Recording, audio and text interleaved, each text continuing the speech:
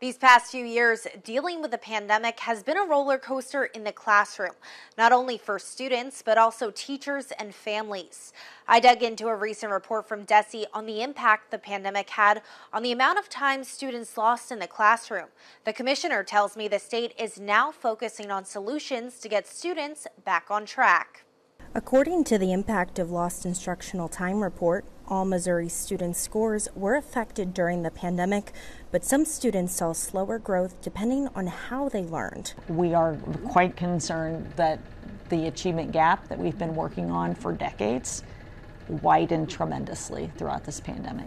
The report compared students' testing scores from the 2018 to 2019 school year to scores from 2020 to 2021. Uh, we've, we've seen um, the, the most significant loss from prior year uh, in math, and that is particularly evident in schools that were not open for face to face.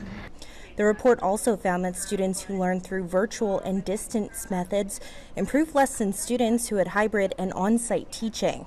Younger students were also more affected than older ones. DESE Commissioner Margie Vandeven says it's important for the state to use federal money to help identify the students' needs and get them back on track when we have an opportunity to look at what where do we need to invest our dollars.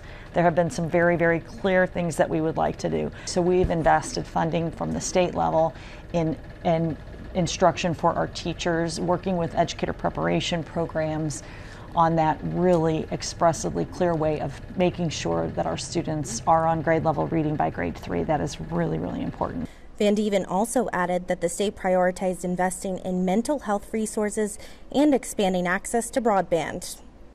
Overall, the report says that students with disabilities, those with lower family incomes, and Black and Hispanic students were found to be most affected by pandemic learning.